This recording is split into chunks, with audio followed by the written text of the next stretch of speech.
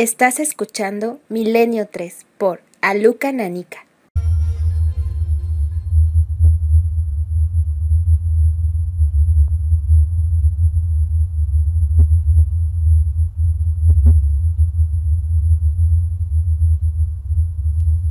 Lo que estáis escuchando, amigos, es casi imperceptible, ¿verdad? Afina del oído. Es un leve zumbido, tenue. Sin embargo, provocó auténtica consternación en una reserva india, se grabó y aún hoy se le llama por parte de la ciencia y de los investigadores el sonido o zumbido de Taos. Escuchad. Algunos dicen que es el mismísimo sonido de la Madre Tierra, que nos habla, que nos quiere decir algo.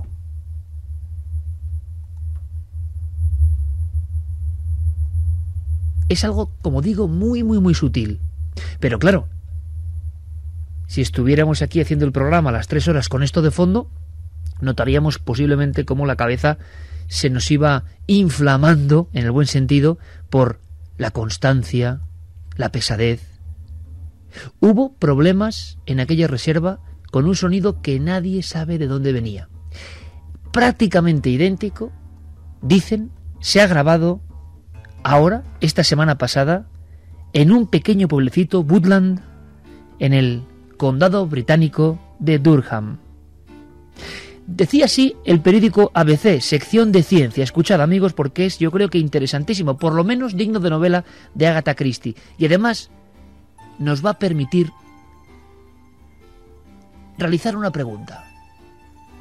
¿Está la Tierra realmente diciéndonos algo? ABC 13 de junio. El pequeño pueblo de Woodland, condado británico de Durham, lleva dos meses sin poder conciliar el sueño por culpa de un extraño y grave zumbido que cada noche invade, durante horas, las desiertas calles de esta localidad agrícola. Parecido al ruido del motor de un coche en la lejanía, cada medianoche y hasta cerca de las cuatro de la mañana. El extraño sonido llena el aire y angustia a los vecinos, sin que nadie haya podido explicar su origen. Añade el autor del artículo noticia no es la primera vez que sucede algo similar. Sonidos parecidos llevan registrándose desde hace décadas en numerosas localidades de Estados Unidos y el norte de Europa. Aunque también han llegado a Nueva Zelanda, Bristol, Auckland, Zurich, Taos. ¿Qué está pasando? El misterioso zumbido de la Tierra. José Manuel Nieves, autor de esta crónica, corresponsal de Ciencia y Tecnología Diario ABC y compañero en la ciencia de esta nave. Buenas noches. Buenas noches, Iker. Bueno, yo creo que con una fotografía de una localidad que yo creo que ha roto todos los anonimatos y yo no sé si a estas horas, ahora mismo, se ha resuelto el misterio, ¿no? Era un zumbido casi idéntico al que hemos escuchado. Sí, del mismo tipo. Lo que pasa es que no he encontrado grabaciones de este sonido. Mm, debe de haberlas, pero yo no he sido capaz de, de, encontrarlas, por eso no las hemos no las hemos traído. Lo que sí sé es que en el pueblo se han llegado a hacer patrullas vecinales, porque estaban volviéndose locos, pues para averiguar de dónde podía venir. Dentro, al lado del pueblo, no hay torres eléctricas grandes, no hay maquinarias pesadas, no hay grandes industrias. Sí está en una zona minera o sobre una antigua zona minera. Ahora parece ser, que estábamos comentando ahora fuera de micro, que, que, es posible que alguna vieja máquina, pero en fin, eso es muy relativo. La realidad es que no saben. Y yo me he sorprendido mucho al publicar esta noticia, más que por la noticia en sí, que es muy sorprendente, por los comentarios. Ha habido cientos de comentarios y muchos de ellos, podemos ver algunos si quieres, nos dicen que les está pasando lo mismo aquí en España. Está pasando en, cerca de Cádiz, está pasando cerca de Sevilla, está pasando cerca de Jerez de la Frontera, o por lo menos personas que tienen un problema con un extraño zumbido y los vecinos lo mismo y nadie les hace caso. Así que lo mismo podríamos, podríamos investigar un poco para, para algún otro programa. Una vez más, nuestro amigo José Manuel Nieves dando en el clavo, yo creo, y lanzando una cuestión importantísima. Así que dicho y hecho, esta noche los sonidos, quién sabe si el lenguaje de la Madre Tierra es muy importante. ¿Habéis escuchado este tipo de sonidos? ¿Habéis descubierto alguna explicación? Y sobre todo, ¿qué opináis? Gaia nos está diciendo algo ahora que entramos en un tiempo parece que bastante complejo y difícil. Carmen, buenas noches. Buenas madrugadas, Iker. Importantísimo, hay una encuesta, vamos a ver cómo acaba, y las vías de contacto porque esta noche es de participación. Es un programa muy especial. En la segunda hora vais a saber por qué. Pues en la página web ikerjiménez.com ya pueden votar en el debate de la semana en Milenio 3. Nos está advirtiendo de algo la Tierra. Ya han votado Iker y la gente lo tiene muy claro. 84,8% sí que nos está advirtiendo la Tierra de que algo va mal. Como siempre abrimos líneas de contacto www.cadenaser.com la nave del misterio en Facebook y en Twitter y como no, milenio 3 con número arroba cadenaser.com. Vamos a sortear tres libros de la cena secreta que ha publicado de bolsillo y que Javier Sierra se los mandará bien dedicaditos, ¿eh? Javier Sierra, compañero, buenas noches. Muy buenas noches, Iker. El sonido inicial, vamos a volver a escucharlo, Noel Calero, compañero. Quizá ahora lo que es la percepción humana, ¿verdad? Eh, lo interpretemos de otra forma, porque estoy seguro que muchos amigos de Milenio habrán dicho, ¿cómo empiezan estos el programa hoy? Con este sonido que parece más bien que se ha ido la música y se ha quedado como ese zumbido de fondo de las cosas. Que es extraordinario tenerlo grabado. Es decir, José Manuel Nieves decía que no sabíamos si estaba eh, a nuestra disposición la grabación de lo que ha ocurrido en Woodland estos días, pero es que quizá no esté porque muchos de estos sonidos, y hablaremos de ello esta noche, son, son tan tenues, estamos hablando... Son de muy bajas frecuencias. Exacto, que es, que es muy difícil que una grabadora, que tiene una, un espectro de sensibilidad muy limitado, pueda recogerlo. Vamos a hacer la prueba. Santiago Camacho, compañero, buenas noches. Buenas noches, Iker, y efectivamente, eh, de hecho, estos amigos españoles que parecen escuchar este sonido, pues eh, pueden acudir eh, a una página web que expide diplomas de umnología, es decir, de zumbidología. Y diplomas que acreditan de que tú eres capaz de escuchar ese sonido. Porque eh, en una misma localidad donde sucede el fenómeno, muchas personas son absolutamente incapaces de apreciar nada y otras, en cambio, no solamente lo aprecian, sino que si se ponen tapones en los oídos, el sonido no disminuye, sino que crece. Eh, hay, que, mm, hay que incluso establecer, eh, yo creo que en estos primeros minutos del programa, una especie como de eh, retrato robot del fenómeno que, por extraño, vamos a definir esta noche en Milenio 3. Escucha, Javier, escucha, porque ahora, y lo iremos poniendo, hay diferentes sonidos esta noche, pero puede ocurrir que haya amigos que ni lo escuchen. Otros que sí, y estamos haciendo la prueba en vivo ahora mismo. Es decir, cuántas personas escuchan algo con mayor o menor claridad y otros no. Y luego vamos a verlo en diferentes sonidos extraños. Y ahora nos haces ese retrato robot, ¿te parece? Este es el sonido, que por cierto además tiene mucha historia, de la Reserva India de Taos.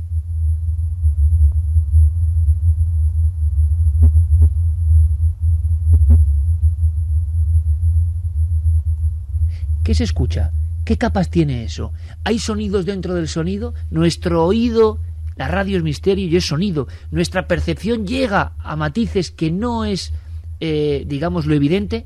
Es que pasa en todos estos sonidos. ¿eh? Atención que luego va a haber cosas interesantes. Javier, ese retrato robot, eh, de alguna forma dibujemos al sospechoso. Pues mira, se trata de un sonido que no es percibido, como decía Santiago hace un minuto, por todos. Eh, hay personas incluso que no lo oyen continuamente, sino que lo escuchan en una determinada temporada, mm, después dejan de escucharlo durante otra y vuelven otra vez a percibirlo más adelante. Es decir, que, que mm, hasta en eso no hay un patrón eh, muy concreto. ¿no?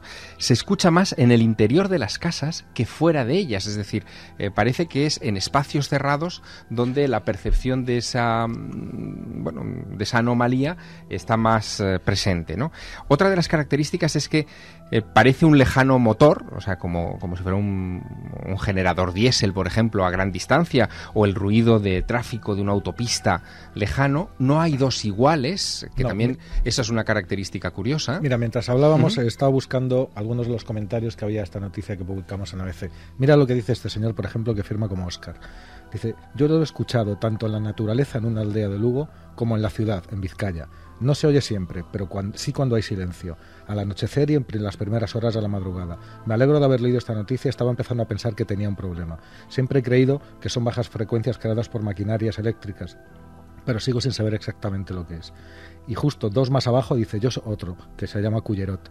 Dice yo soy de Cullera, Valencia, y también oigo por las noches idéntico zumbido. Habría que investigarlo más a fondo. Hay épocas en que se perciben más, pero es todas las noches y de baja frecuencia. Esa es otra de las características del fenómeno. Es más intenso de noche. En esto coinciden. Incluso algunos tienen horario fijo, entre la medianoche, las 2 de la mañana o medianoche y las 4 de la mañana. Como en Woodland, sí. En Woodland es ese arco de tiempo, en Taos era entre la medianoche y las 2 de la mañana, era un poco el, eh, la, la hora tipo. Y a veces, y esto es muy interesante, no solamente los testigos escuchan el sonido, sino que el fenómeno viene acompañado por vibraciones en el cuerpo, produce mm, desde luego una serie de efectos colaterales eh, muy a tener en consideración, insomnio, náuseas, espa- espasmos mu- musculares, dificultad de concentración, fatiga, palpitaciones, dolores de cabeza, en fin, todo eso alrededor de este sonido que, como te digo, mm, en raras veces se ha podido Vamos a conjuntar investigación. Bueno, Santi, una vez más, eh, magistral. Eh, hay cátedras, entre comillas, claro, también de humología que no tiene que ver con el planeta humo, sino que tiene que ver con este tipo de sonidos extraños. Son fenómenos de los que apenas teníamos constancia, excepto, y ahora muchos amigos milenarios dirán, ah, claro, me acuerdo. Y vamos a volver a saber si hay algo nuevo. Aquellos sonidos, por ejemplo, bajo el mar. Entrevistamos en su día auténticas glorias de la pesca submarina española, y lo vais a escuchar, que nos hablaban de estos sonidos bajo el agua, que no tenían explicación y que de momento se quedaron sin explicación. Pero por favor, hoy es una noche muy importante para la participación, tanto que vamos a repetir rápidamente vías de contacto, Carmen, porque yo creo que hoy podemos incluso hacer un mapa por si la gente puede ayudarnos a completar un mosaico de fenómenos que quizás sean naturales, ojo, tecnológicos perfectamente, o quizás sean algo que está alterándose y que podemos eh, Sí, porque denunciarlo. algunos son explicables. A mí me pasaba, ¿eh? que estudiando en, en casa tenía un fuerte dolor de cabeza siempre veía continuamente un zumbido, un zumbido. Y al final descubrí que era justo la farola que había enfrente que emitía demasiada frecuencia en vez de una farola normal. La electricidad, en el fondo, era la que estaba enfrente y ese zumbido hacía que mientras estudiaba me doliera muchísimo la cabeza, no me pudiera concentrar. Con lo cual, algunos fenómenos pueden ser naturales. Si han oído este tipo de zumbidos, si lo están escuchando en este momento, aparte Iker, decirles que no apaguen los ordenadores porque muchos creían que se había jorobado la emisión, pero no, no ha sido eso. Vamos a repetir las vías de contacto y que nos comenten ellos lo que escuchan. Milenio 3 con número arroba cadenaser.com, www.cadenaser.com y como siempre en Twitter y en Facebook, La Nave del Misterio. Además hay que decir otra cosa, que claro, también estabas hablando, Iker, de sonidos submarinos y evidentemente en el agua el sonido se transmite a muchísima mayor distancia. Todos sabemos, por ejemplo, que el canto de las ballenas se puede oír a centenares, incluso a miles de kilómetros y, y- y también muchos sonidos terrestres, muchos sonidos de la Tierra. Por eso, mm, la inmensa mayoría de las veces que alguien oye algo, a lo mejor cree que está escuchando una cosa rara o diferente, pero te vas a comprobarlo y no es tan rara ni es tan diferente. Pero hay algún caso, y tenemos alguno, que, que sí es extraordinariamente raro, pero porque la fórmula por la que fue obtenida ese sonido fue- tenía todo el rigor de lo que la ciencia es capaz. Es decir, no era un testigo ni cinco que han escuchado algo que no saben muy bien lo que es y que puede ser cualquier cosa, sino que estamos hablando de la Administración Atmosférica y Oceánica eh, de los Estados Unidos, que es la NOAA, que es como la agencia, la gran agencia meteorológica, se ocupa desde la meteorología marina hasta la espacial, o sea, son, es ciencia pura, ¿no? Y tienen todos los mares sembrados con hidrófonos, con micrófonos, entre otras cosas. ¿no? Bueno, pues en el año 97 se descubrió, vamos, eh, los micrófonos, los hidrófonos de la NOAA, pero muchos de ellos, decenas de ellos incluso situados a varios miles de kilómetros de distancia los unos de los otros, grabaron todos un sonido, un único sonido, que es empieza más agudo y, va bajando, por eso lo llaman el slow down, una bajada lenta, que en realidad dura 16 minutos, pero que en el, en el ejemplo que hemos traído está, está acelerado. No está Fue acelerado como un alarido global del mar, de alguna forma. Sí, de alguna forma. Entonces, esto como sorprendió, porque fue registrado por numerosos institutos de la NOAA y fue estudiado y fue eh, eh, eh, desmenuzado milimétricamente. Y nunca se supo cuál era el origen y nunca se volvió a repetir nada parecido, desde el año 97 hasta nuestros días. Y ese sonido, eh, registrado en diferentes micrófonos, vamos a llamarlo así, en las profundidades a lo largo del planeta, se recogió, se registró. Hay que decir que incluso parece eso, una especie de lamento gigantesco del mar.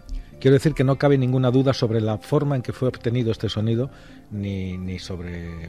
O sea, no cabe ninguna duda sobre que no se sabe lo que es. Vamos a escucharlo.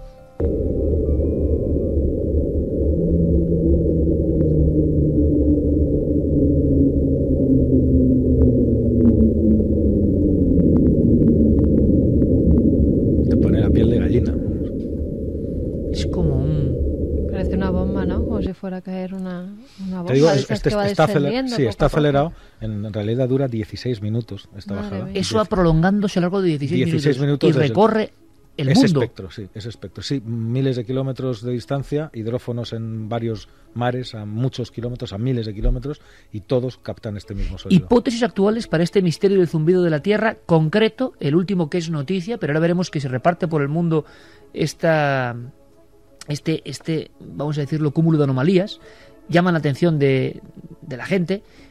Muchas veces im- imagino que las personas piensan que hay un eh, origen natural. Por ejemplo, la farola, yo hace poco, pasando cerca de Segóbriga, por debajo de una torre de alta tensión, escuché la electricidad, el zumbido la Sonaba, electricidad, sí. más que nunca. Imagino que habría un desajuste, pero me impresionó y me dio hasta un poco de, de, de, de verdad de miedo. Sí, paseando. Si paseas por el campo y pasas cerca de una torre, de alta- escuchas Se ese sonido, saquido y ese crujido. Entonces, pero- ¿cómo podemos luego entre todos diferenciar estas cosas y ver el auténtico misterio si es que lo hay, que parece que lo hay? Eh, ¿Qué se ha dicho en torno a esta especie de motor que está causando más de un problema en Woodland? Aunque hemos llamado a Woodland, nuestro compañero Carlos Largo y Fermín Agustín han estado trabajando para que escuchemos las voces de este pueblo de la noticia. Y, bueno, también es sorprendente. De momento, ¿qué se dice, José Manuel? en Woodland. Sí, ¿qué origen puede haber? Pues, ¿Qué se ha especulado? ¿Qué han dicho los científicos? Si es que no lo saben. Han pedido la ayuda de las autoridades locales precisamente para que manden a alguien para que les ayude, porque ellos, por, con sus propias fuerzas, no lo han conseguido. Eh, sé que no son muy amigos de hablar, de decir nada. Es, una, es un pueblo muy pequeño, agrícola, muy cerrado, eh, mm, aislado de, de- de- de grandes núcleos urbanos. Es decir, no es fácil que la gente hable. Tampoco les gusta mucho ni la, ni, ni- ni la por eso probablemente os habrá costado obtener testimonios. No, Eh, no lo saben. Hay que remitirse a otros sonidos parecidos que sí se han investigado. Este probablemente se acabe investigando, pero todavía no, es demasiado reciente, eh, como el de Taos que decías. Ahí sí, ahí se, se hablaba de varias cosas. Eh, eh, por ejemplo, se hablaban de sonidos magmáticos.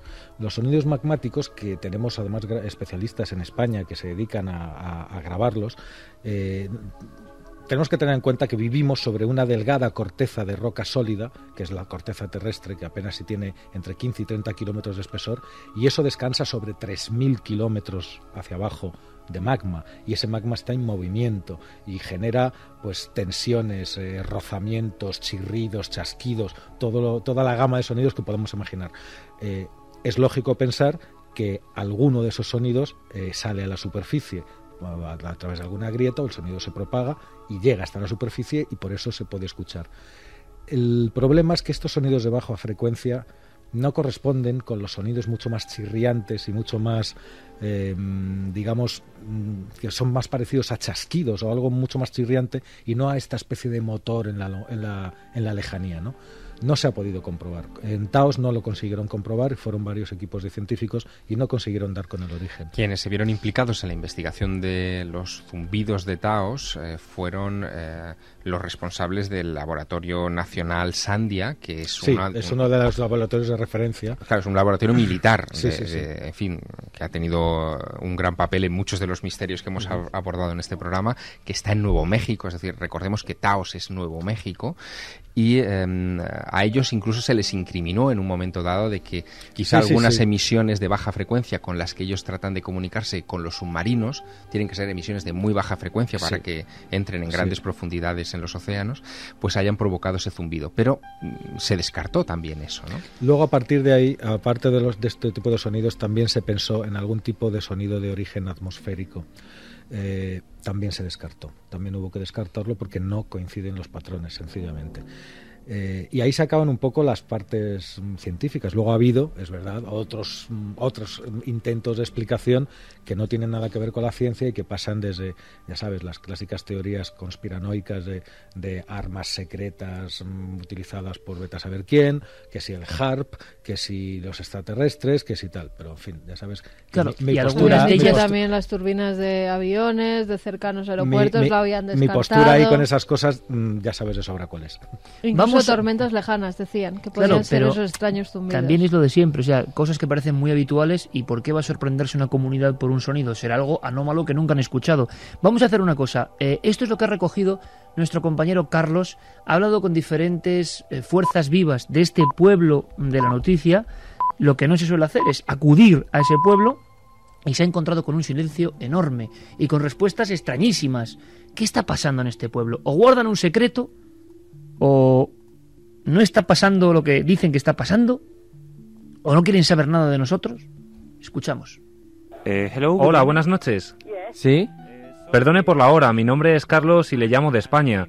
Soy periodista en una cadena de radio. Estamos preguntando a los vecinos si han escuchado algo referente a esta historia. Something about this uh, story. No, nada de eso.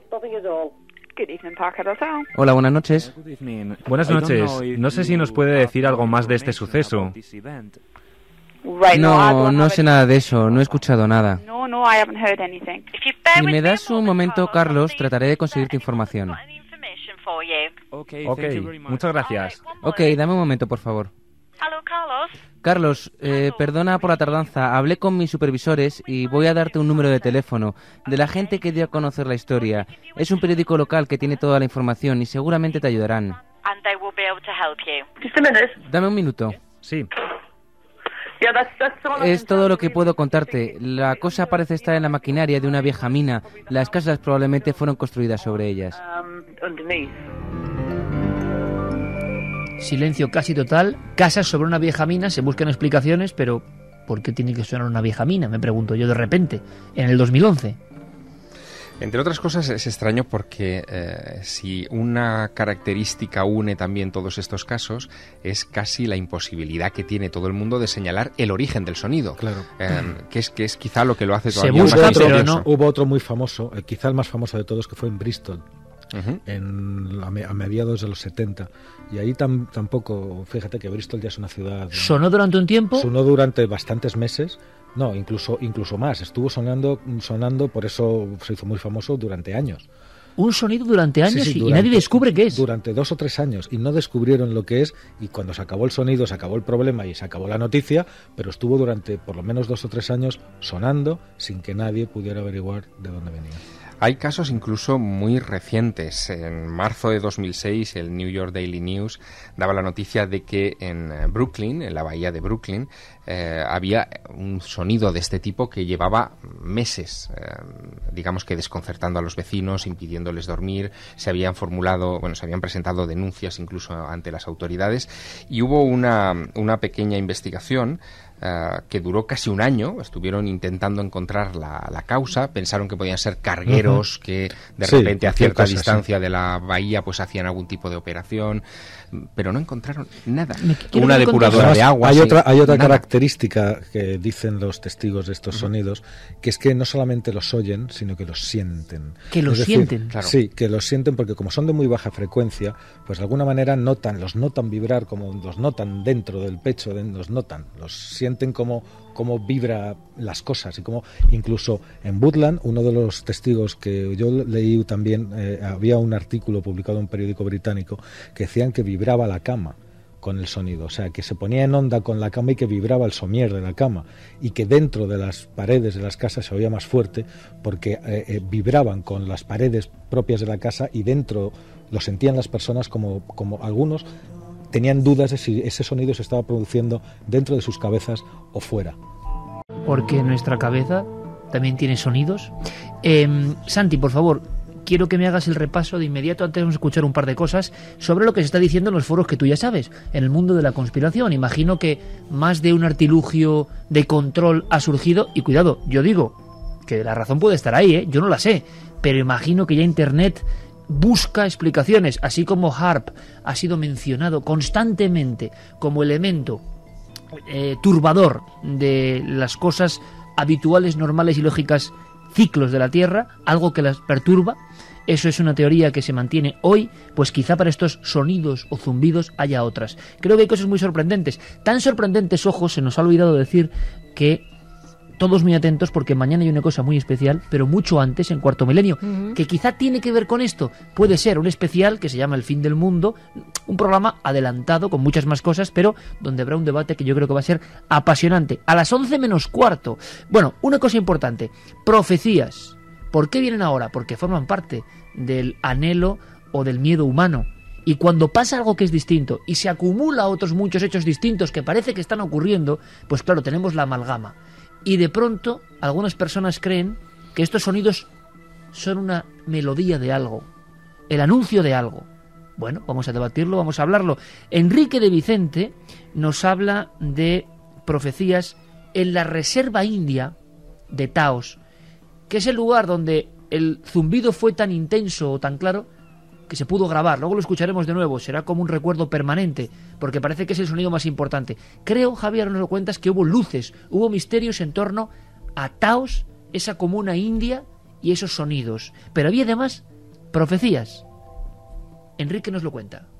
Cuando acudimos a las tradiciones de los indios pueblo y de otra serie de indios de alrededor que formaron en su momento confederaciones con ellos, eh, nos cuentan cosas fascinantes. Sus profecías acerca del futuro de la Tierra son realmente reveladoras, porque entre esas profecías hay una descripción precisa de lo que está ahora haciendo el ser humano con la Tierra y de eh, hablan de los quejidos de la Tierra, quejidos no solamente sonoros, sino a través de explosiones, de terremotos, eh, y lo que anuncian es que llegado ese momento llegará el día de la purificación, que es un momento en el que la tierra se purificará a sí misma y eh, se quitará de encima, así de, de dos zarpazos, a, a los seres que le están provocando daño.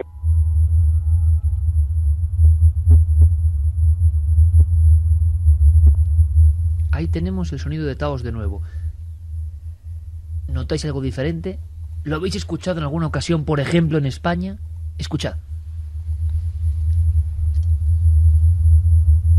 Es difícil, pero es muy particular. Lo ha escuchado mucha gente, Iker. Sí, pues ahora les escuchamos nosotros a ellos de inmediato. Javier, hay que saber algo más del sonido de Taos en concreto. Creo que había incluso misterios más o menos hondos en torno a ese lugar, esas profecías, esas tradiciones y esta grabación. Pues en la geografía inmediata a esa región de Taos y en la propia Taos, eh, desde hace mucho tiempo eh, hay historias de lo que se llaman allí las spooky lights, las luces eh, misteriosas.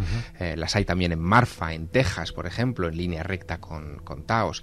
Es decir, que en muchos de estos lugares los sonidos vienen también acompañados por este tipo de luces y no son pocos los que lo vinculan todo a movimientos telúricos, a movimientos Sí. sísmicos. De hecho, se hablaría de las luces de los terremotos, se hablaría también de sonidos conectados precisamente Sin a- este tipo de movimientos. sin embargo, esa zona, fíjate, no está cerca de ninguna De falla. ninguna falla, efectivamente. Claro, que sería, eh, sería una, un elemento muy importante para que se produjeran o para que fuera más fácil. Un apunte más, José. Manuel. Hemos hablado con el común colega Emilio Carreño, director Ajá. de la Red Sísmica Nacional, y nos ha dicho que para este sonido en concreto él no encuentra ninguna explicación geológica de fallas ni demás. Claro, no, ni él ni nadie, por ahora. Ni él ni nadie. ¿Y qué está pasando ahora mismo en tiempo real? 1 y 38 minutos. Igual estamos, como tantas otras veces, abriendo la caja de Pandora y quizá, como tantas otras veces, nos encontremos con una respuesta fascinante del público, de los oyentes, de los cientos de miles de amigos, que ahora se dan cuenta, escuchando lo que ha traído José Sí. Manuel Nieves, que hay una... Sí, sí, yo porque estoy seguro. paralelismo. Ya te digo, por la reacción que tuvo el artículo en el periódico, yo estoy seguro de que esta noche más de uno nos va a decir que lo está escuchando. Pues igual estamos bordeando algo que no entendemos muy bien, pero que la gente reconoce. Vamos a ver si es verdad. Pues mira, Matías nos decía a fines de enero de este año, dos de la madrugada, un sonido en el cielo similar al de una turbina de avión, pero totalmente estático durante al menos siete minutos. Además son tiempos ar- largos algunos. Claramente la Tierra nos avisa de algo. Yo lo he escuchado en las noches en silencio de Madrid. Quién sabe de lo que nos avisa, tendremos que estar atentos. Yo escucho algo similar constantemente, incluso en casa de mis abuelos, que está en mitad del campo, sobre todo por la noche, y no puedo dormir. Creía que era porque tengo oído absoluto. Nos, nos lo decía Raquel. Hola, yo estuve hospitalizado unas semanas y cuando volví a casa no podía dormir a causa de un sonido similar al que estáis radiando. Fui a que me mirasen los oídos y los tenía bien. Aún los sigo escuchando. Casa Rich nos lo decía. Diego desde Palencia, relacionado con el tema, ¿para cuándo un programa sobre los interiores de nuestro planeta? Bueno, pues lo haremos. Nos decía Víctor también, hola milenarios, todas las noches paseo con mi perro por la montaña, un día vi unas extrañas luces y escuché, proveniente de un valle que queda anegado en la oscuridad, un zumbido muy parecido al que estáis poniendo. El perro se quedó atónito cuando empezó, porque también lo escuchaba. Salimos corriendo y ya no he sabido nada más, tampoco lo he vuelto a escuchar nunca. Me da la impresión de que al lanzar al espacio sonoro eh, con el poder amplificador de estos micrófonos, el sonido de Taos, Sí, eh, fíjate, ¿está ocurriendo algo? Me está recordando lo que la- alguno de los comentarios. Otra de las explicaciones que aventuraron en el caso de Taos era que había habido una especie de epidemia colectiva de un de, de- de- de oído, o sea, de un músculo que lo que hace es endurecer el tímpano y que estaba afectado por un virus que endurecía ese músculo, que afectaba a ese músculo que a su vez endurecía el tímpano. Llegaron a acusar imagina- a un virus de... O sea, o sea, imagínate una especie de problema auditivo colectivo, ¿no? Que es la primera vez que lo oigo, vamos. Pues fíjate que ahora mismo tengo delante una pequeña curiosidad que es un mapa eh, en el cual están distribuidos en el mapa mundi pues todos los casos registrados que son bastantes. Estamos eh, Japón, Alaska, todo el norte de Europa, Inglaterra muchísimo, Escandinavia, Argentina, eh, Marruecos, Australia. Y fíjate que por la distribución del mapa, lo primero que se me ocurre es que probablemente mm, debería ser algo de origen tecnológico, porque todo abarca el primer mundo. Y de hecho, a mayor eh, incidencia... Es en el hemisferio norte, eh, todo, en el- o, la, inmensa mayor parte. Sí, hay salvo casos, Australia y hay Argentina. casos en Australia, te iba a decir, pero casi siempre es en el hemisferio Efectivamente. Y fíjate que, eh, digamos que los países más desarrollados, eh, norte de Europa, Escandinavia, eh, Y Inglaterra y Norteamérica, son los que tienen una concentración mayor. Y Japón como único punto en Asia. Mm, Se me ocurre que algo tiene que ver el desarrollo y la tecnología con este fenómeno. Es una hipótesis, o sea, tampoco tiene mayor... Escuchamos más mensajes y escuchamos, Anti, lo que dicen los amigos, digamos, de la conspiración. Si hay alguien manejando estos hilos. José Luis nos dice que él también lo escucha, este sonido, cuando está todo en silencio en su habitación. Lo lleva escuchando desde que se casó en 2003 y además vivo en El Palmar, una pedanía de Valencia, unos 20 kilómetros de Cullera, donde un paisano también los escucha. Mercedes, desde Tudela, nos decía, llevaba meses oyendo estos zumbidos, sobre todo y más intensos durante las noches. Vivo en un bloque de viviendas en un séptimo y coincidí con las mismas molestias con una vecina. Asombroso. No sabíamos qué explicación darle. Durante días lo oía por la noche en mi habitación. Me producía insomnio y mucho trastorno de sueño. Yo decía que oía un helicóptero, me alteraba muchísimo, pero en casa nadie más lo escuchaba. O sea, no la misma familia, que es lo que decía Javier Sierra antes, que me parece de verdad interesantísimo. Hay diferentes niveles de micrófono interno en el cerebro. Personas que escuchan más y que por tanto eh, se sienten molestas cuando esa frecuencia sube. ¿Alguien la está subiendo? Incluso, si te parece, podríamos hacer un test eh, con nuestros oyentes aquí y ahora. Tenemos un sonido que viene eh, de Auckland, de, Australia, que fue grabado el 15 de noviembre de 2006 por el doctor Tom Moir de la Universidad de Massey en, en esa ciudad, en Auckland. Eh, es en la costa norte de la ciudad y mm, a él le llegaron varios eh, informes de que allí se estaba produciendo algo extraño. Él acudió con sus equipos para registrarlo y lo colocó en la web de la universidad, en la página web de la universidad, para que todo el mundo pudiera opinar e incluso escucharlo. Y se daba la paradoja. sea, lo que estamos haciendo ahora hoy. Exacto, se daba la paradoja de que algunos no lograban escuchar nada en la grabación, pero en la grabación otros sí. Esa la tenemos aquí y la vamos a poner, si te parece. Vamos a escuchar ese sonido. Un profesor universitario inquieto, cosa que de verdad nos hace ilusión, que siga habiendo profesores muy inquietos, pone esto para que opinen, como estamos haciendo hoy, poner en la palestra un misterio, desde luego, al menos por mi parte, muy desconocido. Y de pronto se encuentra, imagino que con el eh, reflejo en la gente. Nosotros lo seguimos recogiendo, es muy importante. Eh, la siembra de esta noche puede darnos pistas para este misterio. Escuchamos el sonido, Javier. Muy atentamente, porque es un sonido muy tenue, y después te cuento qué hipótesis tiene el doctor Tom Moy sobre esto. Por lo tanto, compañero Noel, bajamos prácticamente este otro lecho sonoro, precioso por cierto, y escuchamos ese sonido de Auckland.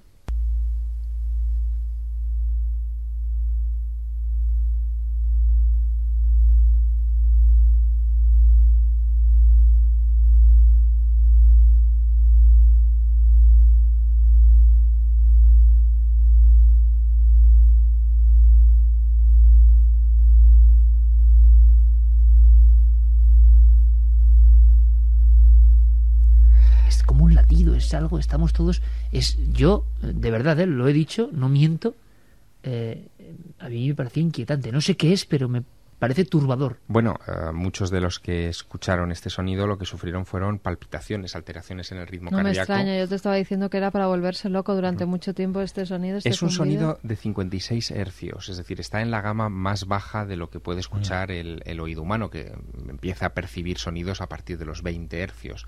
Eh, pero fíjate, lo que dice Tom Moir es que quizá pudiera ser el efecto colateral que podrían causar microondas, microondas humanas, es decir, de, aparatos eh, humanos, probablemente militares, que hacen vibrar el aire haciéndose audibles. Esa era un poco la hipótesis, pero tampoco él ponía la mano en el fuego porque no se atreven. El sonido está ahí, el misterio está ahí. Bueno, lo acabáis de escuchar y es muy impactante para quien lo haya podido escuchar. Y la verdad es que, en fin, están abiertas todas las hipótesis. José Manuel, me dices que hay gente que lo está escuchando prácticamente Sí, en tiempo real. Yo estoy leyendo los comentarios y, y en Granada, en Medina Sidonia, en Cádiz, en Valencia. Mira, tengo aquí uno delante que dice, otro, un señor que vive en Berlín y que ha leído el artículo. Mira, me, me he quedado alucinado, dice Tutan. Vivo en Berlín con mi pareja y llevábamos un par de días con este ruido machacón. Pensábamos que era un vecino haciendo alguna reforma en la casa, porque el sonido nos salía como del muro. Incluso nos preguntábamos a los del bar de abajo por si habían puesto alguna máquina nueva. Estoy hoy mirando noticias y veo esto y me he quedado a cuadros. Es el mismo zumbido continuo, como amortiguado, y nos ha pasado durante el día. Y ese zumbido no es un ruido que normalmente está, y la actividad diurna de la ciudad simplemente se enmascara. O sea, eh, el público, las personas diferentes que han leído tu artículo, que están escribiéndonos a Milenio 3, eh, saben que es algo que perciben, conectan con ello porque lo han escuchado alguna vez, su cerebro lo interpreta, lo identifica, pero no pertenece al ámbito de sonidos cotidianos. Algunos, porque otros nos dicen qué sonido. Nickel nos decía qué sonido, porque al parecer él no lo escucha. Bueno, pero eso es normal. Fíjate, yo he estado eh, eh, un par de días viendo cuevas rupestres, de nuevo en la oscuridad, y hay figuras que hay personas que ven perfectamente y otras que no ven. La percepción humana no solo es la Sí, visión. está dentro de unos umbrales, pero Claro. cada una la tiene más... o Más menos. afinada hecho- o menos. De hecho, hay una curiosidad que es que eh, hace tiempo hubo una polémica porque eh, se comenzaron a comercializar unos aparatitos que emitían un ruido molesto, pero que era solamente molesto para los menores de 25 años, porque a partir de esa edad perdemos la eh, capacidad de oír determinadas frecuencias, mm, eh, se van muriendo bastoncillos de- del oído interno que detectan eh, determinados rangos de frecuencia y entonces pues lo propusieron incluso algún ayuntamiento para impedir que se celebraran botellones en según qué plazas. Aquello fue declarado ilegal, no se podía hacer porque era una discriminación por razón de edad, etcétera, etcétera, era anticonstitucional, pero eh, el aparatito existe. Claro, y Bueno, entramos en el tema de las armas sónicas, Sí, es sí. decir, del manejo por parte de la tecnología, si es esto, eh, para, bueno, fines un poco siniestros. Pero yo no me resisto, Fijaros- compañeros, un, un momento, José, porque es que yo quiero, para dejarlo ahí Sí. y que la gente pueda seguir opinando, nuestro público pueda seguir opinando, de nuevo escuchar ese sonido que es diferente al de Taos, pero es tremendamente peculiar, es algo raro, es algo que molesta. Claro, aparentemente no molesta, pero, pero es como si nos interrogasen, ¿no? Es una cosa muy rara, es como un latido muy extraño. Volvemos a escuchar ese sonido captado en Javier. En Auckland, Nueva Zelanda.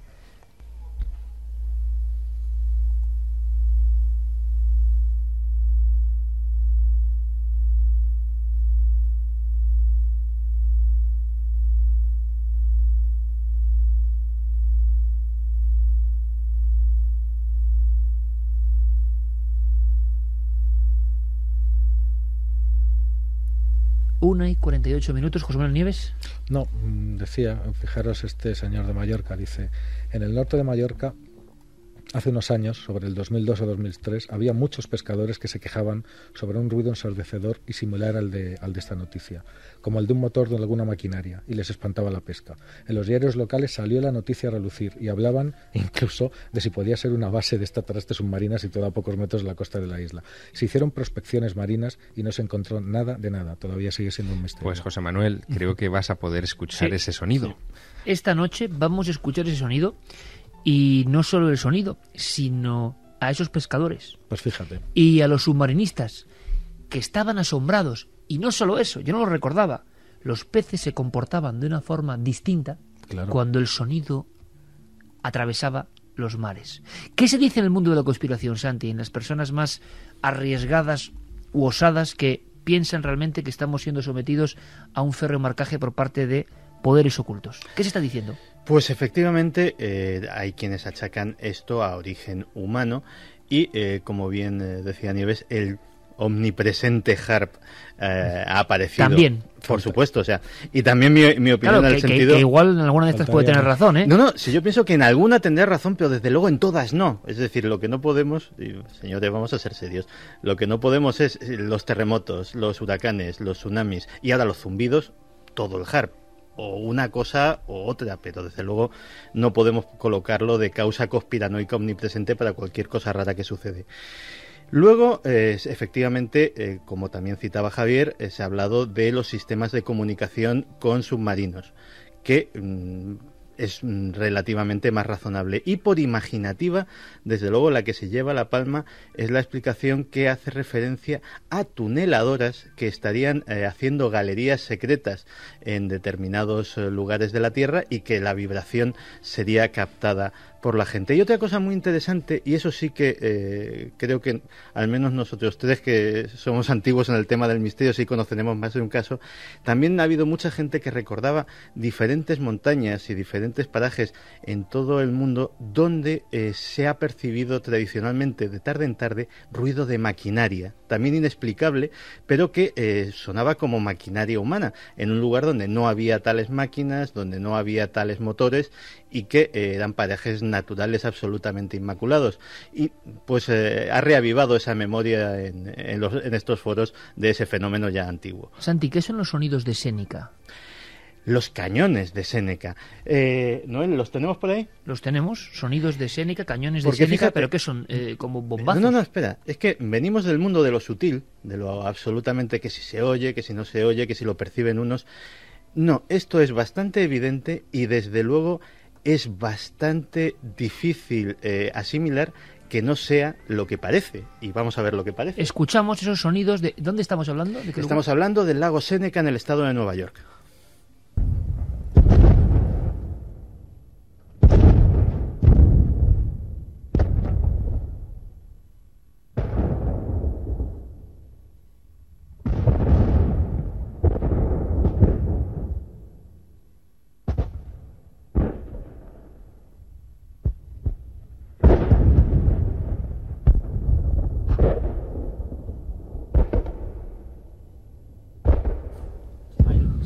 Debate aquí de inmediato, Sí, se ha hay, abierto el hay debate. un- hay una frase, que permitidme que la deslice antes de que Santiago te- eh, continúe. Hay una frase de Frank Edwards, eh, que es un autor, en fin, de libros de misterio que, que seguro Iker que te resulta muy conocido, que decía, ¿hay cañones en el cielo? Él se lo preguntaba en uno de sus libros. ¿Qué es esto? ¿Qué están diciendo en torno a estos cañones de Sénica? Los cañones de Porque Séneca... su- suena como... Suena como a una, tormentón. a una tormenta, sí, pero es una tormenta muy especial, muy seca, ¿no? Los golpes. La primera referencia histórica nos la da James Fenimore Cooper, autor de El último mohicano, que, eh, novelista como era, pues eh, los eh, llamó los cañones de Séneca en virtud a una batalla que hubo cerca del lago Séneca eh, durante la guerra civil y pensaba incluso que podían ser los fantasmas de, de aquel, de aquel encuentro militar. Pero lo cierto es que es otro de esos fenómenos sónicos inexplicados de la naturaleza. No son tormentas, es decir, suceden en cielos absolutamente despejados. Se han dado multitud de hipótesis. eh, la primera fue que se podían ser eh, ruidos de origen sísmico. Automáticamente fue descartada por la sencilla razón de que los, sismógrafos permanecen absolutamente inmóviles y son aparatos tremendamente sensibles eh, cuando suceden estos sonidos. El sonido sucede con cierta eh, periodicidad, más, eh, más eh, frecuentemente en otoño y en invierno que en primavera y en verano. También se ha achacado a sonidos atmosféricos de algún tipo, pero desde luego no suceden, es decir, no estamos hablando de tormentas al uso porque suceden con bajas presiones, con altas presiones, de día, de noche. Todos los años los veraneantes eh, del lago Séneca, eh, cuando sucede el fenómeno, que no tiene fecha fija y que puede suceder en cualquier momento, hay una noche o una mañana que fríen a llamadas la centralita del, del local porque mm, literalmente piensan que hay un bombardeo, que ha, este- que ha estallado la Tercera Guerra Mundial o cosa semejante. Y como en el caso de- del zumbido de Taos, eh, se han aportado muchas, muchas teorías y ninguna científicamente aceptable, porque evidentemente pues siempre surgen datos que, que van en su contra. El 15 de febrero de 2010, eh, explosiones en el cielo de este tipo, de este calibre, despertaron a media Montevideo, en Uruguay, y de hecho hubo muchas llamadas de teléfono a las autoridades, aparecieron eh, artículos en los días siguientes en la prensa preguntándose qué podía ser esto. Y ya entonces se acuñó en algunas eh, columnas de prensa, aunque esto ya viene de antes, en otros lugares eh, ya se había especulado con el término, se acuñó el término terremoto del cielo o cielomoto. Yo he leído algún artículo, alguna, alguna investigación sobre fenómenos parecidos y sí hay algún tipo de explicación. Son eh, en determinadas capas de la atmósfera al producirse eh, eh, encuentros entre columnas ascendentes de aire caliente y descendentes de aire frío pueden provocar estos impactos, que serían impactos en el aire, de dos masas de aire. Y esos impactos, algunas veces y en determinadas condiciones, pueden provocar eh, reverberaciones muy sonoras, que podrían ser esto. que no- ¿Acompañadas de luz en no, había- ocasiones? no, yo no. Es no, que, eh, estaban hablando de sonidos. Lo cuento por algo, José. Manuel, porque en el último mes hemos recibido bastantes vídeos Mm. de diferentes partes del mundo donde hay unas tremendas explosiones. No sé si con sonido o sin sonido, ahora mismo no lo Una recuerdo. de ellas con sonido y las demás sin ningún y, sonido. y son eh, focos más bien esféricos. Es más, alguno parecía de verdad el cartel detrás de una montaña, yo lo decía, parecía el, cartel de encuentros en la tercera fase, iluminándose como una gran aureola. Y ha coincidido, ¿no? En diferentes países, también en el hemisferio que- norte. Eh, ¿Qué está pasando? Y nos han llegado esos vídeos de qué Mm. está ocurriendo con estos flashes en el cielo. Pues mira, esto es otro, otro fenómeno a sumar a esta lista de anomalías, eh, vamos a llamar geológicas, que estamos repasando esta noche. Lo de la luz Aunque detrás... los geólogos de momento no dado ninguna No, explicación. no, no, que no da decirlo. ninguna explicación. Pero esta idea de la luz detrás de la montaña o del aura de la montaña también tiene un nombre. Se llaman los Mountain Peak Discharges, o sea, las descargas de los picos de la montaña. Eh, se han hecho inventarios de este tipo de sucesos eh, y ocurre generalmente en picos de montaña que a veces presentan este tipo de auras, rayos y relámpagos de luz y es bastante común en los Andes, aunque se ha denunciado en otras montañas del mundo y lo no hay raro, explicación. Lo raro, Javier, es que en algunas de las filmaciones que podrán ver en Cuarto Milenio, es que se producían sobre ciudades. Había algunas que eran ciudades, la ciudad dormida, con pequeñas luces tintineando, y casi encima la formación, como si fueran rayos en bola, pero sobre la ciudad. Y hemos recibido varios. Quiero que antes de, de pasar a la segunda hora, en la cual habrá sorpresas muy, muy extrañas aquí en Milenio, pero también, desde luego, hablaremos de este asunto, seguiremos hablando de este asunto, porque le doy una sorpresa a José Manuel Nieves, a nuestro amigo. ¿Por qué? Porque él ha mencionado, eh, con el impacto de su artículo, un montón de comentarios que recuerdan cosas. Bueno, en las aguas de Baleares fue un problema importante. Aquellos sonidos del fondo del mar, sabremos si se llegó a descubrir algo o no, pero es que tenemos hasta el sonido. Se registró hasta el sonido. Vamos a ponerlo ahora. Buceadores, eh, hombres de la pesca submarina, marineros, viendo cómo los peces se comportaban de forma diferente, huían casi de esas zonas del sonido, pero nadie había grabado el sonido. Ahora lo tenemos. Escuchad.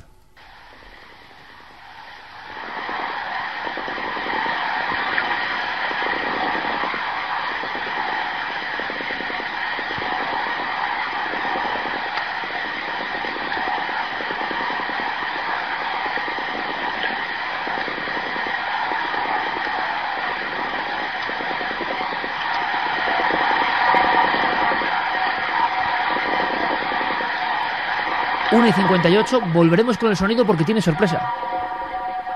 El sonido hace este alaridos ahí. giro, ¿lo veis? Que es muy metálico. Como o sea, campanazos o algo dando en metálicos, ¿eh? Fue grabado con un micrófono a pocos centímetros de la superficie de- del mar, del Mediterráneo, eh, por Pedro Amorós. eh, Que y- estuvo investigando el asunto porque ya empezaba a ser una auténtica Epidemia. eh, ¿eh? epidemia. Sí, sí, sí. Y de hecho, eh, bueno, él tuvo la suerte de que en un momento dado, mientras estaba recogiendo esos sonidos para sonorizar un documental, eh, de repente se le colaron en la grabación y, y, en fin, y quedaron inmortalizados. Y tenemos testimonios. Hemos logrado saber algo más de aquella noticia que se esfumó pasa siempre lo mismo, cuando no hay explicación todo se olvida.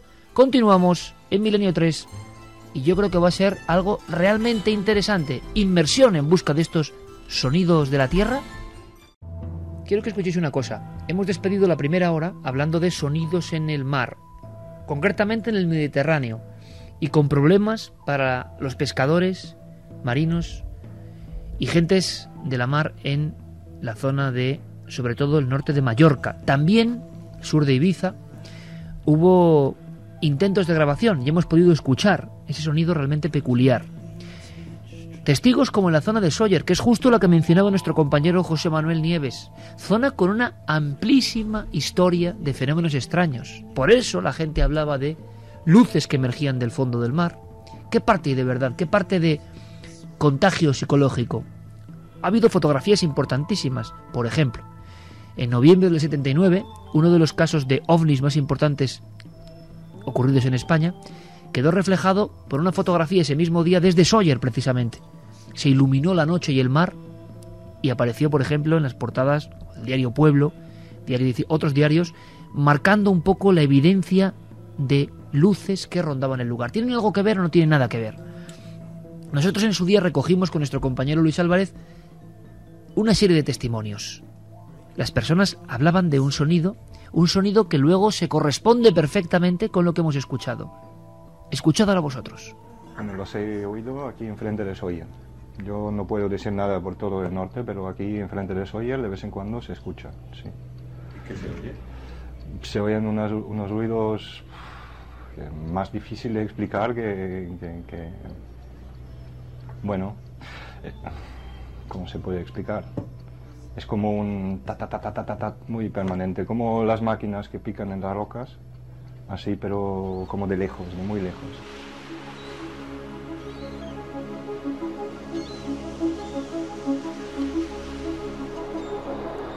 Atentos a la descripción, como un ta ta ta ta ta ta, como picando la roca. Es lo que hemos escuchado antes de irnos a esta segunda hora. Es exacto. Hay más. Auténticas eminencias de la pesca submarina, de la pesca deportiva, hombres casi peces, como diría el gran Antonio Rivera, acostumbrados a vagar por esos fondos, de repente se encontraron con algo nuevo. Y esto es lo importante. Podemos intentar buscar explicaciones, que seguro que en muchos casos las hay. Pero debe ser algo inusual para que alguien se haga eco de ello. Los sonidos cotidianos están ahí, en nuestro catálogo de conocimientos, pero algo que rompe esa habituabilidad. Bueno, ¿qué pasó exactamente en la zona norte de Mallorca y en todas las Baleares? Pepa Mengual, uno de los grandes hombres de la pesca submarina y deportiva en España, no solo llegó a escuchar los sonidos, sino llegó a ver el comportamiento de los animales cuando esos sonidos se hacían presentes.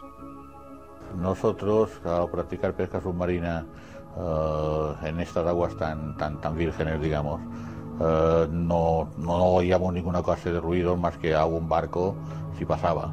Entonces, claro, el estar en el agua y oír el golpe, porque el ruido que nosotros oíamos era un, como una especie de martillo hidráulico. O sea, era un boom, ¿eh? y este boom este lo oíamos pues a un tiempo relativamente eh, acompasado ¿eh? y claro en estos momentos que tú estás allí y oías boom, ¿qué pasaba aquí? y salías sacabas la cabeza mirabas no veías ningún barco no veías nada porque no veía nada y claro entonces no sé de dónde viene y no, nunca, nunca lo supimos pero algo que sí es que cuando había estos ruidos los peces estaban bastante inquietos, se les veía muy nerviosos y no se les veía paseándose por el medio como, como cuando no se ve nada. Era un ritmo seguido de golpes, de golpes, pero que duraba todo un día. ¿eh? O sea, con una periodicidad, no sé, a lo mejor de, de un minuto o de 30 segundos o 45, ya no me acuerdo exacto. Pero era así, y era monótono todo el día. De nuevo el concepto monótono, sonido de fondo, Sí. No hemos llegado a saber, compañeros, nada de la historia de estos sonidos que se convirtieron en noticia y nada. Bueno, que afecten a la fauna, eso también es normal, porque acordaros cuando uno de las, la- los grupos ecologistas, uno de los peros que ponen cuando hay maniobras militares y, y tal, es que las comunicaciones, estos sonidos de baja frecuencia y tal, afectan, por ejemplo, a las ballenas, a los delfines, los desorientan, hacen incluso que se pierdan o que se vayan o abandonen zonas que son de cría o de, o de, o de tránsito, ¿no?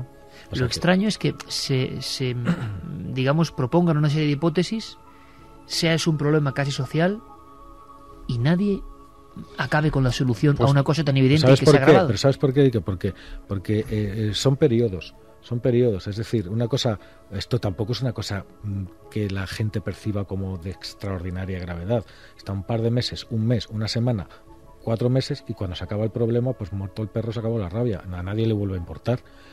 Y, y- y mucho menos, además la ciencia, sabes cómo funciona también, eh, eh, si no hay una urgencia que te obligue a destinar fondos, equipos, etcétera, entonces ha tenido que pasar, pues como en el caso de Taos, que fue mucho más prolongado, que la gente se quejaba mucho, que había problemas eh, de jaqueca y problemas salud, de salud, de salud. entonces enviaron a alguien a ver qué estaba pasando, pero si no, no hay motivos aparentes para hacer ese, ese, ese desembolso, ¿no? ese gasto. Pero fíjate que incluso en asuntos que han tenido eh, repercusión importante militar, mm, el misterio ha, permanecido.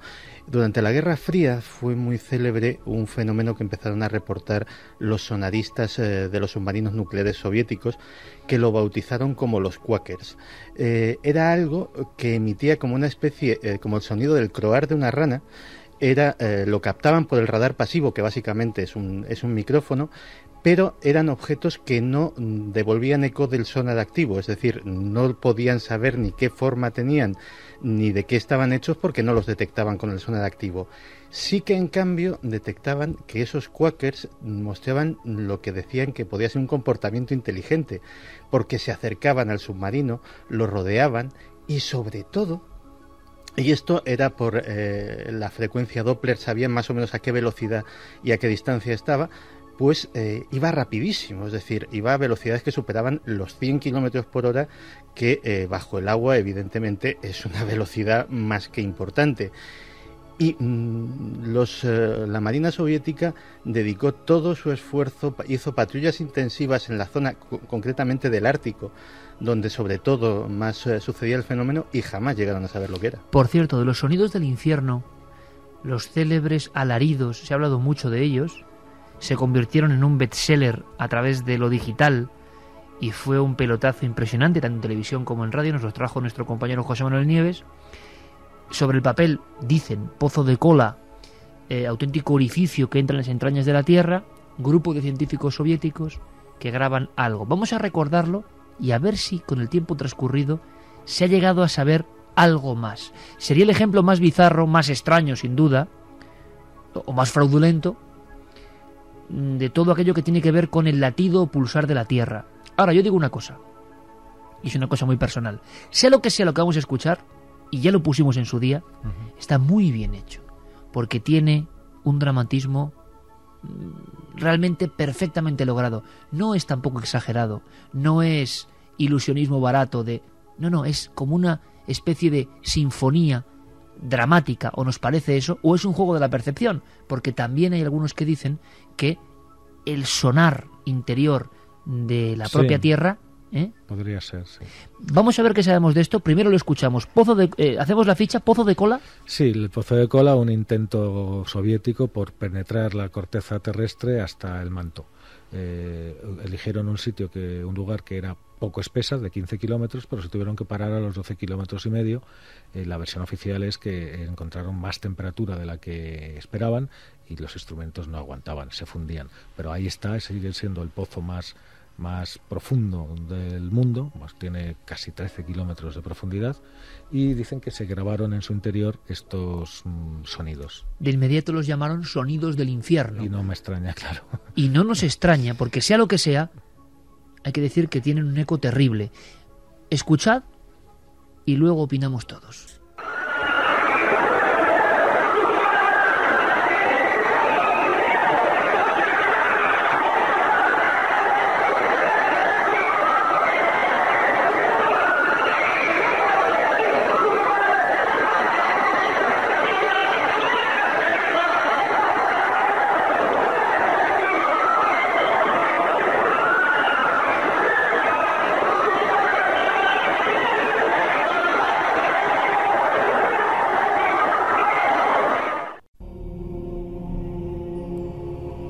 Y 16 pueden ser causas naturales o un fraude. Fíjate, un fraude muy refinado porque está en el justo umbral de lo creíble para que cale en la gente. Claro, si son sonidos tremendos de un demonio eh, carcajeándose no te lo crees. Pero por otro lado, si es natural, bueno, la, la historia, Tierra es mágica. la- Entonces. La, la historia que hace sospechar de, de esta, de esta información algo es eh, precisamente el modo en que nos la contaron. ¿no? Sí. Esto sucede supuestamente. urbana, ¿no? Sí, esto sucede supuestamente en 1983. O sea, estamos hablando todavía de la época comunista, del- de la época soviética. Y eh, parece que, eh, al menos eso es lo que se dijo en las primeras informaciones, eh, el equipo de geólogos que había estado trabajando en este asunto, por supuesto, eran del régimen, en fin, Claro, del Partido claro. Comunista, Claro, claro. Y, y todos ellos se convirtieron poco más o menos Claro, es que después de escuchar cuenta- las almas del infierno a 13 Ah, kilómetros claro. bajo tierra. Es decir, había una De- intencionalidad. Un trasfondo se- político de hecho, se religioso. titulaba, en algún medio se titulaba así, los soviéticos descubren el infierno o algo así, ¿sabes? Pero es que precisamente... eh, Pero las- no hemos llegado a saber, José fuentes- Manuel, el sonido original, sea cual sea la historia que el... Vamos a ver. que lo adorne. Las, las fuentes por las que empezó a salir este sonido eran grupos pues de pues mm, evangélicos eh, de, de- de pas- distintas corrientes religiosas que lo utilizaban como una prueba científica de que el infierno existía. Ya sabes que hay muchos grupos religiosos que se intentan basar en pruebas científicas. Y lo que te y lo que lo único que hay científico o sea lo que realmente científico es que ese pozo efectivamente se hizo que ese pozo efectivamente llegó a donde a unas profundidades donde no se había llegado antes. En el interior de ese pozo efectivamente se hicieron grabaciones de sonido pero que es un procedimiento muy normal en geología porque eh, eh, a través del estudio de eso tú mismo has entrevistado a especialistas en este programa en otras ocasiones que eh, te interpretan los sonidos de la tierra. Hubiera sido bonito tener alguno de ellos esta noche no eso también es verdad y también es verdad que tuvieron que abandonarlo por una serie de cuestiones que estaban relacionadas con un aumento de las temperaturas excesivo para lo que ellos habían calculado. Todo lo demás es una interpretación eh, más o menos intencionada y más o menos, como muy bien nos decía Javier. Pero ¿no? no hemos podido saber cómo ¿Algo está más? hecho el sonido, ¿no? No, no hemos podido, no, hemos- no hay, no hay ninguna otra. Pues cumple su función, ¿eh? Sí, sí, desde luego. desde O sea, luego. es, es, es bastante eh, inquietante a la escucha. No sé. Bueno, incluso se filtraron después en una segunda tanda de, de noticias, en fin, vinculadas con esto, eh, que eh, durante esa prospección geológica, eh, por problemas con gases, con luces que habían aparecido también, y sobre todo, tras escuchar, decía la noticia, una voz muy clara que hablaba en ruso ahí abajo, a 13 kilómetros bajo la superficie de la Tierra, y que decía, he conquistado, eh, pues los, eh, en fin, eh, los geólogos decidieron abandonar la, la investigación.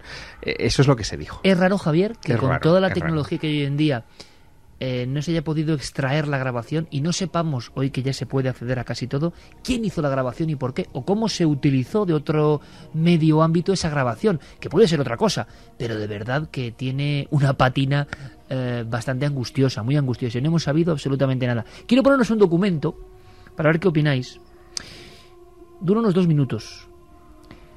Es Enrique de Vicente pero yo creo que completa perfectamente, de verdad, perfectamente, el pensamiento que muchos tienen a día de hoy. Yo no sé qué opináis vosotros, y vamos a seguir con lo que nos dice el público, los radioyentes. Vamos a ver si en España seguimos percibiendo esos sonidos, si hay gente que ha entendido o ha identificado ese problema, esa molestia, esa pequeña inquietud que tenían.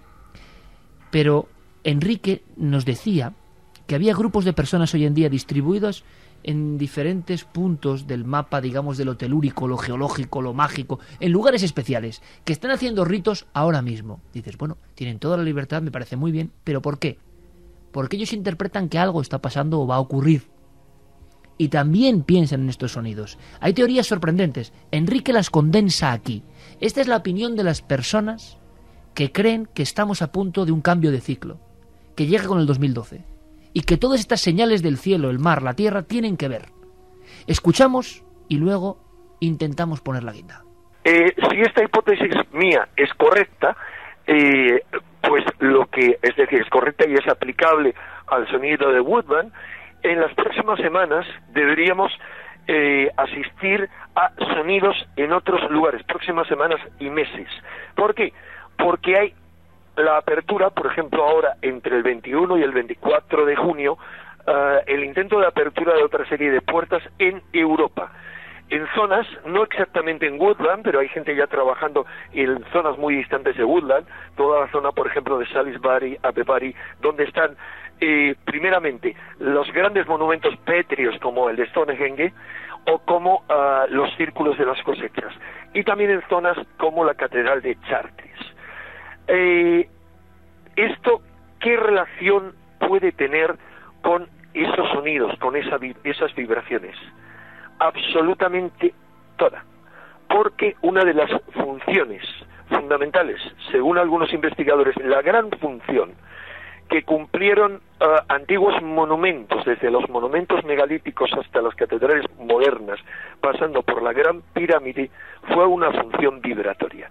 Todas las antiguas construcciones de tipo ciclópeo, es decir, como la Gran Pirámide, como las inmensas piedras que constituyen el, templo de la Esfinge, eh, como ah, las grandes piedras que constituyen los monumentos cercanos a Cuzco, a Sexahuamán, y como los gigantes de la isla de Pascua, los Moais y un larguísimo etcétera, eh, son algunos remanentes modernos, pero otros originariamente producto de una civilización prediluviana. Aseguran que todos esos monumentos formarían parte de un verdadero complejo industrial a escala planetaria que habría sido puesto en marcha por una civilización antiquísima y altamente desarrollada. El propósito de este complejo industrial para ellos sería captar, manejar y modular una energía vibratoria de origen cósmico. La voz de muchos, hay que decirlo, Madre una especie mía. de compendio de elementos que interpretan una energía que va a pasar por la Tierra y que puede tener que ver con los sonidos. Dice, madre mía, José Manuel Nieves, pero estoy seguro que muchos oyentes están perfectamente de acuerdo con lo que dice Enrique. ¿Pero ¿Vosotros? qué, pero qué es lo que dice? O sea, eh, vamos a ver, ¿qué es lo que ha dicho? es una mezcla, es una especie de ensalada de, de frutas con anchoas y con... Mira, ¿sabes lo con que de- voy a hacer? Mira, es que no, es que yo te digo una cosa. voy a invitar mañana Hoy- a la tele. Sí, sí, no, eh, por, por eso. Y voy a invitarle a Enrique. Y voy a invitarle a Enrique. Bueno, vale. Porque están pasando algunas cosas, dicen algunos, y José Manuel dice que esto es eh, poco menos que inconcebible. De momento, mañana vais a estar en la tele, a las 11 menos cuarto, en 4, ¿te parece? Me parece. Pues es- Ciencia y conciencia, ciencia y anticiencia, ciencia y creencia, no lo sé. Pero para debatir si hay señales de que algo está cambiando o no.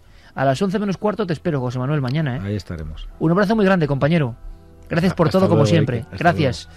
En fin, ¿algo que añadir lo que ha dicho Enrique? Bueno, son muchas las cosas que ha, que ha Condensado en introducido. dos minutos. Claro, claro. Tiene esa extraña habilidad, ¿no? Eh, ha hablado de civilizaciones antiguas, ha hablado de puertas dimensionales, lo ha mezclado con el asunto de, de los sonidos. En fin, yo creo que solamente esos dos minutos podrían dar para un enorme debate. Y si Enrique tuviera ¿eh? algo de razón, Bueno, él ha hecho una profecía. Últimamente está haciendo muchas. Eh, habrá que esperar. Como dicen los ingleses, wait and see. Yo digo una cosa, en algunas ha acertado, ¿eh? En algunas ha acertado. Es un buen final este. Eh, sonidos de la Tierra. ¿Cómo suena la Tierra desde el espacio? Se han hecho pruebas e interpretaciones y la Tierra suena. Lo decían los antiguos, ¿eh? aquello de la música de las esferas, A ver, eh, que está- era una, una vieja intuición. El sonido que vamos a escuchar ahora está grabado por los satélites que están en órbita de la Tierra, pero mm, recordemos siempre que el sonido en el espacio no se transmite. Son eh, eh, eh, em- emisiones electromagnéticas de la Tierra que han sido eh, comprimidas hasta una frecuencia que sea audible por el ser humano. Por eso lo podemos escuchar. Si no, desde el espacio no se oye absolutamente nada. El cántico, Este es el, el, que existe, Sí, sí, el sí. que no cabe en dudas, Ahí, este es de la madre este Tierra. es el sonido de verdad de la Tierra.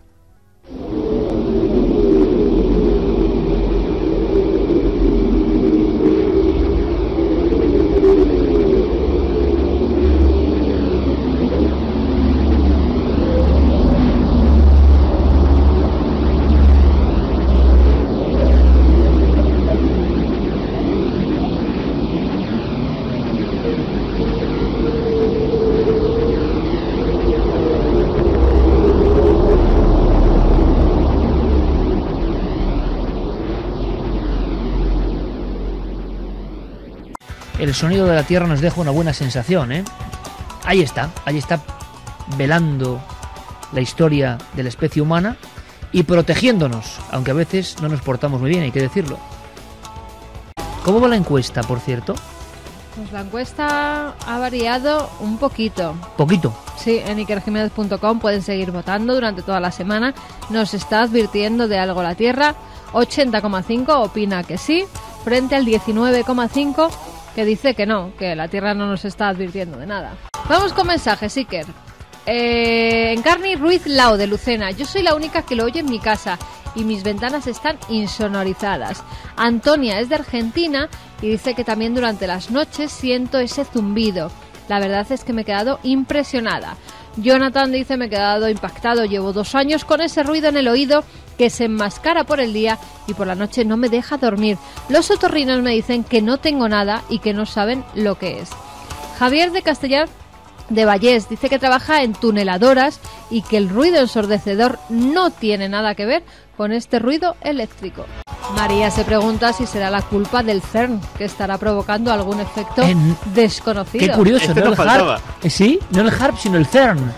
No, porque eh, concretamente eh, tanto, eh, por lo menos no sé si el ruido de, de Taos, pero desde luego el de Oakland sí que es anterior al funcionamiento del CERN, por lo cual... Del el colisionador de hadrones. Efectivamente, el fenómeno es anterior a, a que exista este, este aparato. Otro interesante, Joan dice que algunos de esos sonidos son muy muy parecidos a los que, produ- a los que produce el iDoser, un programa Sí, supuestamente que permite conseguir estados alterados de conciencia. Un día, podía- un día podíamos hablar de eso y de las drogas acústicas. Eh, se han sintetizado eh, supuestamente eh, en, en sonido los efectos que produciría la ingestión de marihuana, de cocaína, de peyote y de tantas otras drogas. Un día os traigo esos sonidos. Hombre, Pablo desde Galicia, a ver si vamos a poner aquí a todo el mundo. pues va, va muy, voy a muy en relación al túnel del con tiempo un de hoy. impresionante. Va muy en conexión con el extrañísimo Es y bizarrísimo túnel del tiempo que viene a continuación. Pablo de Galicia dice, estaba yo pensando justamente en el tema de las tuneladoras. Hace poco estuvo una trabajando bajo mi edificio y el sonido era muy similar. Jaime dice, pensé que eran obras una tuneladora. Los he escuchado y, he sentido todo el invierno. Madrid, un piso 17 por la mañana. Antes de levantarme me despertaba, antes de sonar la alarma. Y su mujer, en cambio, no, dormía plácidamente. Juan Carlos nos decía, buenas noches, estoy destinado en la base naval de Cartagena. Puedo asegurar que lo que exponéis tiene mucha similitud con el funcionamiento de un sonar a frecuencia intrasónica.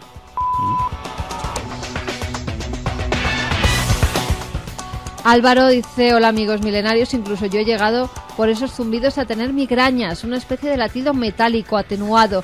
Fui al médico pero no supieron qué decirme. Luis nos dice que en Cuenca hay unas minas que están debajo del pantano, que también se oyen sonidos así. Creo que son las corrientes de aire. Me encanta vuestro programa y os sigo desde hace casi 10 años. Bueno, pues llegamos a las dos y media, momento de un túnel del tiempo muy especial. Vamos a entrar en él y no voy a añadir nada más. Es momento quizá después de 10 años Este o de para 10 guardarlo temporadas. Este es para guardarlo. podcasts, ¿eh? Si iba a decir grabadora, eh, grabadora, eh, está todo en, en digital, pero de verdad que es un experimento extraño, es un poco reírnos de nosotros mismos. Túnel del tiempo.